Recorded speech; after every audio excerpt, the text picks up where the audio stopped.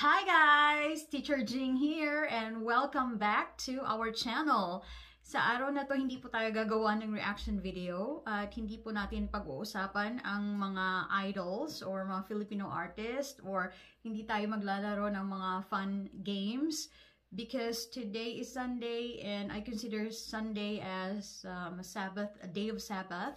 So meron po tayong gagawing kakaiba today And ito po ay ang bagong segment dito sa channel namin. So every Sunday, mag-upload po ako ng um, devotionals.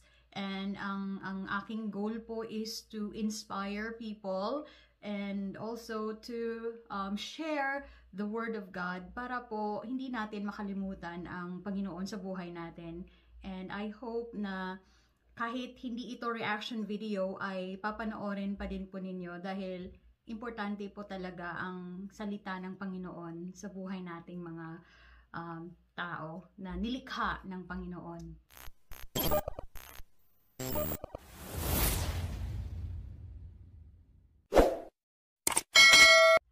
So for today's uh, Sunday devotional or devotion, ang ang topic po is about forgiveness. Very short lang po ito.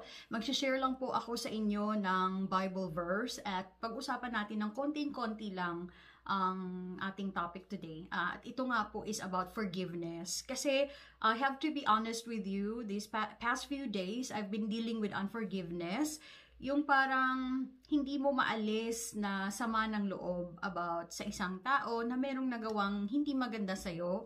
Uh, kahit na nga siguro nag-usap uh, na kayo or parang feeling mo okay na pero deep inside hindi pa din pala okay.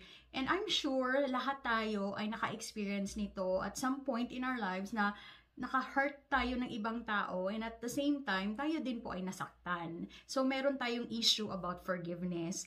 And um, dahil nga ang Panginoon po ay nangungusap sa atin sa, in many ways, ako po ay naka-receive ng isang email dahil nakasubscribe po ako sa Saddleback Church na newsletter ni Pastor Rick Warren. Naka-receive ako ng isang um, email and it's about forgiveness. Kaya nagulat po ako and I believe that that message was really for me. And ito po yung verse um, nasa Matthew. Kung meron po kayong Bible, meron kayong Bible dyan, buksan po natin ang Bible natin sa Matthew uh, chapter 6 verse 14 and 15. Babasahin ko po again, Matthew chapter 6 verse 14 and 15. For if you forgive other people when they sin against you, your heavenly Father will also forgive you. But if you do not forgive others their sins, your Father will not forgive your sins. So, napakaklaro po dito, sasabi sa verse 14 na If you forgive other people when they sin against you, your heavenly Father will also forgive you. Na papatawarin tayo ng Panginoon pag tayo ay marunong magpatawad sa kapwa natin na nakasakit sa atin.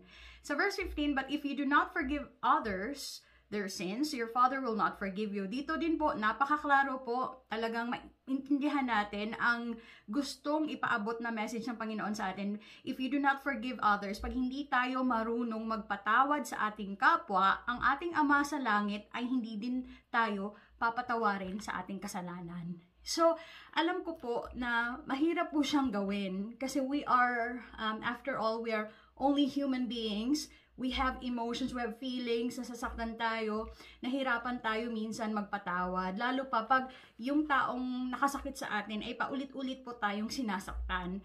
Pero as Christians, as followers of Jesus Christ, we have to obey kung ano yung sinasabi ng Panginoong Jesus. So, kung mahirapan po tayong gawin ito, all we have to do is continuously ask the help of God through prayers. Let's pray na tulungan tayo or bigyan tayo ng strength, ng courage ng Panginoon na gawin kung ano yung gusto niya.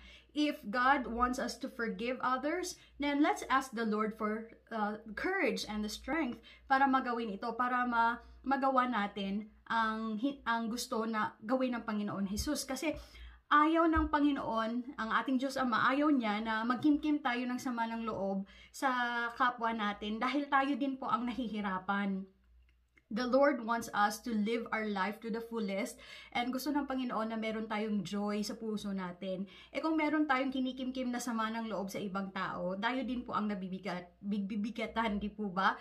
Um, we are burdened. So, kailangan din talaga natin na um, i-push ang sarili natin and we have to ask the Lord and and put our trust in the Lord na kaya nating magpatawad. Kasi kung iisipin lang natin, nako hindi ko kayang patawarin to, eh kung magre-rely lang po tayo sa ating um, strength bilang isang tao, talagang magfi-fail po tayo. Kasi we are humans eh. Ang ating strength, ang ating patience, ang kabaitan natin are very limited. But if we ask the Lord's help, then makakaya po natin. And siguro let us remind ourselves that nobody is perfect. So lahat po tayo nagkakamali. Minsan, mahirap talaga mamuhay sa mundo pag napapalibutan tayo ng mga toxic people. Pero kailangan din po nating i-remind ang sarili natin, minsan ba naging toxic din ako sa ibang tao? Totoo po yan. Kasi minsan unaware tayo na tayo din pala ay toxic. So akala natin sila lang yung toxic. Pero in reality, tayo po ay toxic din naman. Hindi lang tayo aware. So kailangan po talaga natin na magbasa ng Biblia. Kagaya nito, nare-remind po tayo kung ano ang dapat nating gawin. Naalala ko nga, merong pastor na nag-share na ang sabi ng asawa niya, hypocrisy daw is um, knowing something na kailangan mong gawin pero hindi mo ginagawa.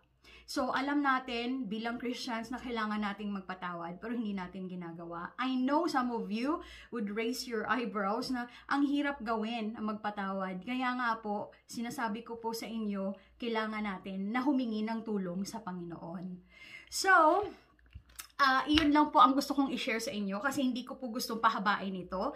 And gusto ko lang talaga po na mag-share ng word ng Panginoon para po ma-inspire tayo at meron tayong uh, mapupulot na, na lesson or may meron tayong we have something to reflect on this week. So maraming salamat po kung nakaabot kayo hanggang dito. Salamat po sa panonood and I hope na magkaroon po kayo ng peace of mind. And kung kayo po ay merong um, sama ng loob against someone, I pray na tulungan po kayo ng Panginoon na i-let go itong um, unforgiveness or, or bitterness against this person. God bless everyone and thank you for supporting our channel. See you next time. Bye!